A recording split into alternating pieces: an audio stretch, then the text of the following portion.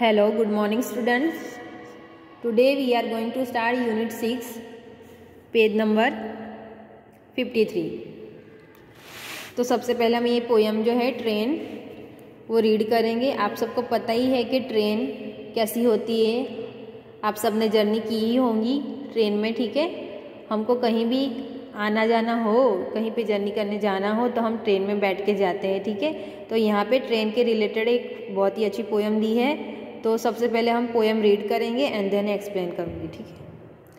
Trains over the mountains over the plains over the rivers here come the trains carrying passengers carrying mail bringing their precious loads in without fail thousand of freight cars all rushing on through day and darkness through dust and down over the mountains, over the plains, over the rivers, here come the trains.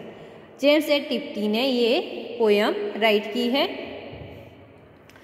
तो यहाँ पे fourth stanza है first stanza में है over the mountains over the plains over the rivers here come the train तो आप सबको पता ही है कि हम जैसे ट्रेन में बैठ के जाते हैं तो हम माउंटेन में से ट्रेन पास होती है प्लेन एरिया में से जाती है रिवर के से होके जाती है तो यहाँ से सारी जगह से होके ट्रेन जाती है।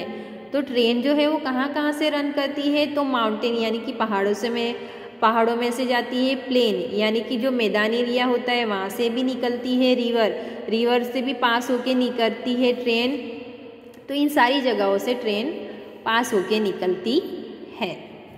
Carrying passengers carrying mail bringing their precious load in without fail तो ट्रेन जो होती है, आपको पता ही है ट्रेन जो होती है, वो कोई एक दो पैसेंजर को, एक दो लोगों को लेके नहीं जाती।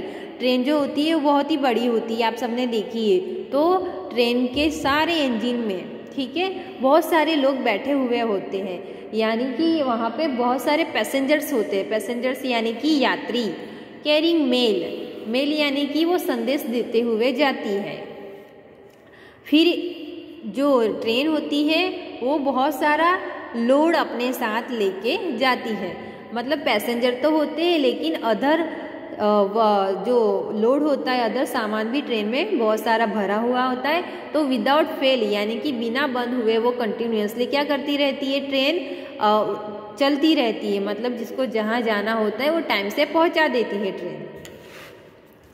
Thousand of freight cars और रशिंग ऑन फ्राइट कार यानी कि देखो यहाँ पे इस पिक्चर में दिखा है यानी कि मालगाड़ी ठीक है यानी जो गुड्स ट्रेन आती है मालगाड़ी उसमें पैसेंजर की ट्रेन नहीं होती वो पूरा सामान लेके जाती है और उसे मालगाड़ी बोला जाती है जाता है यानी कि फ्राइट कार ठीक है तो thousand of freight car on rushing तो वो भी चलती रहती है thousand day and dark through dust and down तो डे आपको पता है, जो ट्रेन जो होती है, वो डे एंड नाइट दोनों टाइम में चलती रहती है। कभी ट्रेन जो है, वो स्टॉप होती ही नहीं है।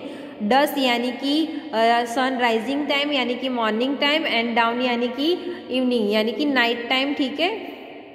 तो डस का मतलब यहाँ पे मॉर्निंग है एंड डाउन के यानी कि नाइट ठीक है? तो रात या दिन हो डे एंड नाइट दोनों टाइम में ट्रेन जो ट्रेन जो है, वो कंटिन्यूसली चलती रहती है वो कभी बंद नहीं होती और जहाँ जिसको जाना है, उसको टाइम पे पहुँचाती है और कहाँ कहाँ से निकलती है train over the mountains over the plains over the rivers here come the trains और वो माउंटेन प्लेन एरिया रिवर इन सारी जगह से पार होके ट्रेन जो है, वो पास होती है और निकलती है और हमको जहाँ पे भी जाना होता है, ट्रेन हमको समय से पहुँचा देती है, ठीक है?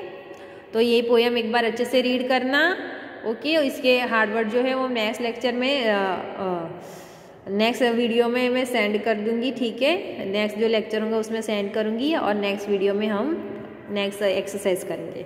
यहाँ पे कुछ जो न्यू वर्ड्स है वो देखेंगे माउंटेन्स यानी कि पहाड़ पैसेंजर्स यानी कि यात्री रिवर्स यानी कि नदियाँ प्रीसियस यानी कि पीछे का, ठीक है? यानी कि जो ट्रेन जो है, वो पीछे बहुत सारा लोड लेके चलती है। उसके बारे में बात की है। मेल यानी संदेश प्लेन यानी मैदान एरिया डस यानी मॉर्निंग टाइम एंड डाउन यानी कि नाइट टाइम ठीक है? तो एक बार ये पोएम अच्छे से रीड करना। Thank you so much